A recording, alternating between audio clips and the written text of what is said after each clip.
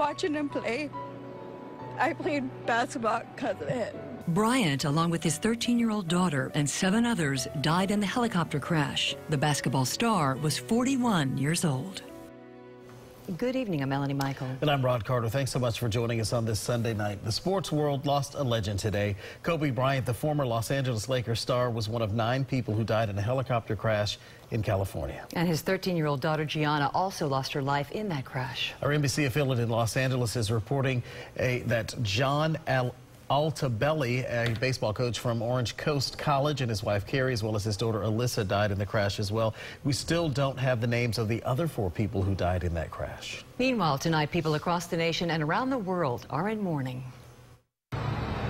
It was about 10 a.m. local time when witnesses saw a helicopter that appeared to be in trouble. I see it was very low and struggling the engine. You can, can see, I mean, tail was not really running Later, the news was confirmed. A basketball legend was on board. There were no survivors. We have a manifest that indicates that there was nine people on board the aircraft. The pilot plus eight individuals. Kobe Bryant and his 13-year-old daughter were on board. They were traveling to a basketball game at Bryant's Mamba Sports Academy. This will only devastate uh, all the basketball community and all the people who love sports because Kobe Bryant truly was one of the great sportsmen of our generation. Fans began to gather near the scene of the crash. Just uh, disbelief. I mean, it's Kobe. He's invincible. I'm just numb right now. I can't uh, find words right now. Kobe Bryant was an 18-time NBA All-Star and won five NBA titles during 20 seasons with the Los Angeles Lakers. Kobe Bryant was 41 years old. Please join us in a moment of silence for Kobe Bryant. Rest in peace, Mamba. NBA players and fans honored Kobe Bryant today in Denver. People paused for a moment of silence before the Houston Rockets Denver Nuggets game. Many of the players looked down and simply shook their heads in disbelief. And it certainly is stunning news today. You know, Kobe could be inducted into the Naismith Memorial Basketball Hall of Fame that takes place in Springfield, Massachusetts later this year. He is among several high-profile candidates, including Tim Duncan, Kevin Garnett, and Chris Bosh. The induction ceremony takes place in August. At the Staples Center, that's the home of the Los Angeles Lakers, fans gathered to honor the basketball star. The crowd went back and forth chanting MVP and Kobe. A large screen projected a black and white photo of Kobe with the words, in loving memory. I seen him in October. I waited 14 hours for him.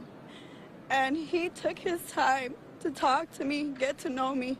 But Kobe, he said he broke a lot of records. He inspired a lot of people to play basketball, be great athletes. So it's still on the today. A lot of people found it very difficult to get to the Staples Center today because of the Grammy Awards that's also going on in L.A. this evening. However, police were able to open up the streets there to allow for additional traffic. The Lakers returned to Los Angeles today after playing in Philadelphia on Saturday. This is aerial video of the team's arrival at LAX, and it shows players hugging on the tarmac. You can see LeBron James right there in the white hoodie and dark sweatpants, hugging people and wiping away tears. Bryant's last tweet was about LeBron James, congratulating him on the all-time scoring list. Kobe Bryant retired from the NBA in 2016. He played for 20 seasons. He was an icon. He won five championships with the Lakers, and he was also an NBA All-Star for 18 years. It is Size Dan Lucas joining us now in studio, and this is really news that's hit a lot of people hard. It is because he, he's so close to his playing career. He's only a Hall of Fame eligible now, so a lot of people who are even young folks they all remember Kobe yeah. Bryant playing. This isn't an older person from a, a previous generation. He was the, the, face of the NBA for years. And we always envision athletes and teams as not liking one another. Well, the NBA, it's a little different. There is so much respect between players that when tragedy hits, it strikes everyone. And that's what we saw a minute ago. We just showed the moment of silence in Denver. And there were eight games in the league tonight. All eight honored Kobe Bryant. And if you think about it, most of the players in the league were growing up during Bryant's heyday. So this was one of their heroes. Now, the head coach of the Clippers, Doc Rivers, coached against Bryant in two NBA finals and says he enjoyed getting to know Kobe better after his playing career. The news is just so devastating for, for Vanessa and, and, his, and his family. And um, there's just so many people he touched, you know. Um, and, you know, it's, it's, looking at my young players and, and seeing how emotional uh, they are uh, they didn't even know him, you know, and uh, it just tells you how far his reach was. And the other piece of video we just saw earlier was LeBron James on the tarmac there on the Lakers flight home. He was so honored to pass Kobe last night on the all-time scoring list. I can only imagine how much he was looking forward to seeing Kobe and showing his gratitude. The two are very close. They Yeah. go back to when he, LeBron was a teenager, and LeBron is late in his own career. So uh, the two were going hand in hand in L.A. and, and all the parallels. And uh, this is horrible for, Dan, for his sports. wife, and, I yeah, mean- absolutely. Having to lose a daughter and a husband at the same time. It's, Absolutely. I was looking at Dwyane Wade earlier today in tears Very uh, emotional. talking about this. Yeah, it's a tough one. Thank you, sir. We appreciate it. Of course, we know that uh, Bryant grew up in Philadelphia. Memorial is growing outside the gymnasium where Kobe played high school basketball. The Lower Merion School District spokesperson there says that the district is deeply saddened to learn of the passing of their most illustrious alum. Bryant played at the high school from 1992 to 1996, of course, before joining the NBA.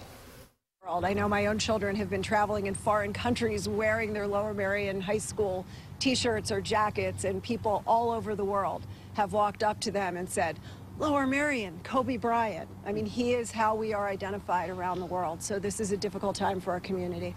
And of course, I know the community, the world really will be honoring him in the coming days. People around the world are reacting to Kobe's death. My father, Rich Sheubrooks, is a former NBA scout who worked side by side with Kobe at basketball camps all over the world. This is, of course, uh, some images from those camps. He tells me Kobe had a way with kids. He wanted to help young players at camps in China and Europe, and the children adored him. As when they went in the gym, their eyes lit up when he walked in. Kobe as a young boy, he, he learned Italian, and he was very fluent in Italian. So, um, you know, he, he, if there's Italian kids in the audience, he'd speak to them in Italian. Uh, he was more of a Renaissance guy, but the guy was so he was so focused on wanting to help young kids and so focused on becoming a better player uh, that it showed up. Like I say, everything he did, he would put 100% into it, regardless of what he was doing. And my dad said that when they were on the court with those children, Mm-hmm. no one else existed except those kids. He gave them his full attention. Yeah, It's that's amazing stuff, yeah. Uh, his impact went far beyond professional basketball. You know, the